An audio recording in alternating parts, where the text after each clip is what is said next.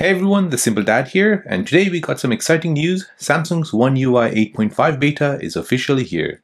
So if you love getting early access to Samsung's latest software features, you're definitely going to want to stick around. So before we dive in, don't forget to like this video, drop a comment below, and hit that subscribe button so you don't miss out on any upcoming One UI 8.5 deep dive videos. So what is this One UI 8.5 beta? Well, Samsung is rolling out the One UI 8.5 beta program giving fans an early access to try the next major update before the official release. So you'll also be able to give feedback to help Samsung polish and stabilize the software. But just like every year, the beta isn't open to everyone.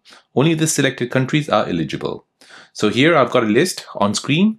The eligible countries for One UI 8.5 beta is Germany, India, Korea, Poland, United Kingdom, and United States. Now, the rollout won't hit all of these countries at once. The first beta will arrive in Korea, Germany, United States, and United Kingdom.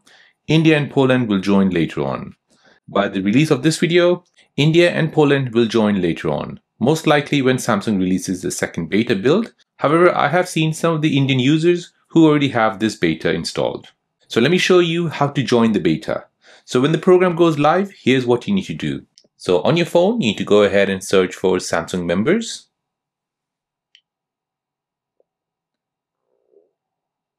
Now in the Samsung Members app, you need to go ahead and look for the One UI beta banner here at the top.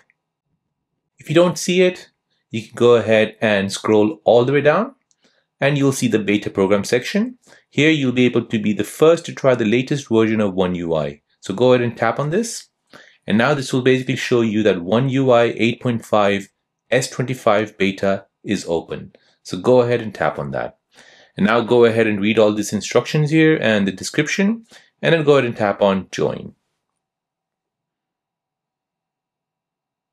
So after you've signed up for the One UI beta program, you need to go ahead and head into settings. Next, go ahead and software update. And here you'll be able to download the latest beta option. And that's pretty simple.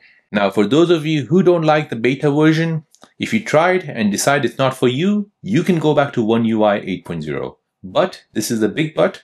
This is really important. You need to use a Samsung Smart Switch to reinstall One UI 8 and this process will require a factory reset. So you'll definitely want to back up all your data and then go ahead and revert this. Don't just revert it to One UI 8 as you'll lose all your content. Back up your content first using the Smart Switch application and then go ahead and revert it back to One UI 8. Now the supported devices for this One UI Beta 8.5 is your Galaxy S25 Ultra series. It's excluding the FE and the Edge models. These models will be the first to receive the beta. More devices may join the program in the following weeks. So you can check a full list of eligible devices and complete changelog using the links in the description down below. And here's the good part. I've got more videos coming up showing the new update to the clock calendar, reminder, and calculator apps. So if you don't want to install the beta and just want the new app updates, make sure to like, comment, and subscribe to the channel so you don't miss my future videos. Thanks for watching. This is a simple dad, and I'll see you in the next videos.